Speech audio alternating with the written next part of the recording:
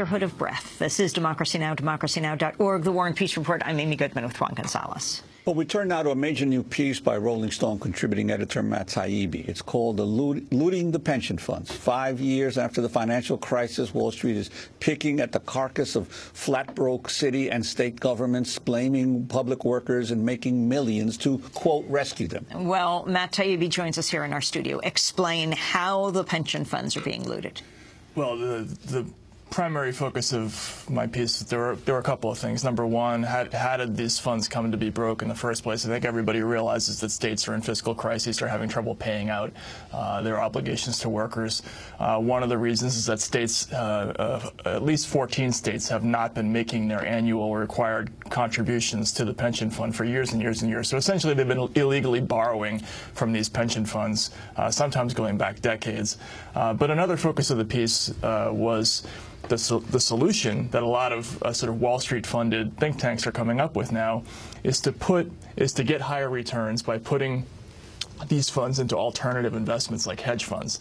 Uh, and in a lot of cases, what I'm finding is that the fees that states are paying for these new hedge funds and these new types of alternative investments are actually roughly equal to the cuts that they're taking from workers. Uh, like in the state of Rhode Island, for instance, uh, they've frozen the cost of living adjustment, and the the, the frozen COLA uh, roughly equals the fees that they're paying uh, to hedge funds in that state. And we're finding so essentially it's it's a wealth transfer from teachers, cops, and firemen to billionaire hedge funders. Well, you know, decades ago, uh, pension funds used to invest very uh, conservatively, uh, right. uh, basically in bonds, because they knew that this was retirement money of workers that they couldn't risk. Right. But increasingly, then, over the last 20, 30 years, they shifted more and more of their money into the stock market. So, right. the, to the gambling of the stock market. So, when the market went down, then suddenly the investment uh, returns of these pension funds went down, and they, they were stuck then because they were projecting continued increases in those returns. Sure. Yeah, no, and, and uh, among the problems here is that uh, state and municipal pension funds are uh, actually not covered by ERISA, which is the federal law governing uh, pe pensions. Um, so there's no prudent man rule uh, that requires um, a certain level of uh, reasonability or prudence in investment. hedge funds probably would not have been a typical uh, uh, public or municipal investment a long time ago. Um, but you know now they're being used in some cases 10, 15, 20 percent of the of these state funds are being put into these alternative investments. And if you look on the prospectuses of a lot of these investments, they say right in the front in huge letters, these are high risk investments. You may lose everything. It's exactly the opposite of what you want to put public money into. Matt Taibbi, talk about John Arnold. So John Arnold is a former Enron uh, energy commodities trader who um, uh, became a billionaire, uh, one of the world's most successful commodity traders after the collapse of Enron. Uh, and he's sort of the, the, new Koch brothers figure. He's uh, on a crusade. He's created something called the Arnold Foundation, which is funding uh, uh, pension reform efforts in multiple states all across the country. Uh, you know, from from Montana to Kentucky to Florida uh, to Rhode Island, where I spend a lot of time. Uh, in Rhode Island, uh, Arnold donated a lot of money to a, a 501c4 organization called Engage Rhode Island, which helped promote the pension reform policies of the sort of Wall Street friendly treasurer they have in that state.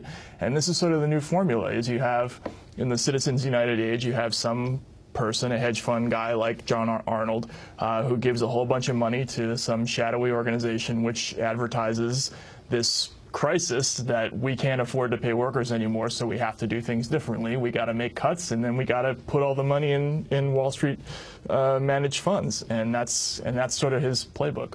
Uh, I'd like to ask you about Detroit. Obviously, the biggest uh, bankruptcy that we, we know of uh, in recent modern times in the United States for a municipality. And you have the situation of the pension funds there mm -hmm. under threat. Big front page story in the New York Times today. But the average retiree from Detroit government is receiving a pension of $19,000 a year. Right. Um, we're not talking about golden parachutes here. Yet these are the very pension funds that are now under attack. Sure, yeah. There's a huge, uh, you know, corruption case that just that just broke open this morning, and you know what I would say about that is, you know, what what did Willie Sutton say about why he robbed banks? That's where the money is. Look, pension funds are sort of the last great big unguarded piles of money in this country, and there are going to be all sorts of operators who are trying to get their hands in that money.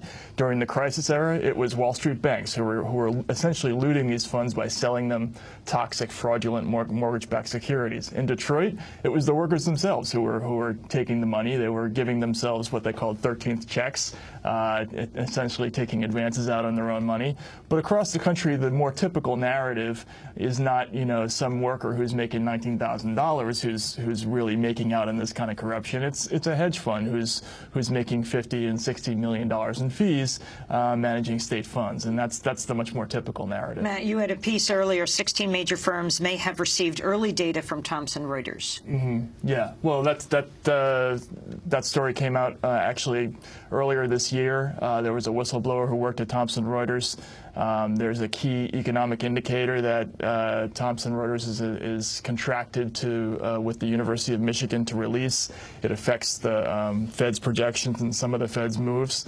Um, if you have early access to that data, uh, you definitely have a trading advantage, and it's subsequently come out that uh, some firms, uh, 16 of the biggest banks and hedge funds in, in the world, uh, have been getting that data up to uh, an hour early. Um, uh, those and names are going to and that means that they are able to trade ahead of that information. Uh, you know, there's I, I spoke with a, uh, a, market research firm who looked at the trading data, and he said uh, look, you're seeing these huge spikes in activity just before the, the data is officially, officially released, which means that there are a whole bunch of people who have a lot of money who are, who are gambling on inside information. And this is, this is going on all over the place. Matt Taibbi, we're going to have to leave it there, contributing editor for Rolling Stone magazine.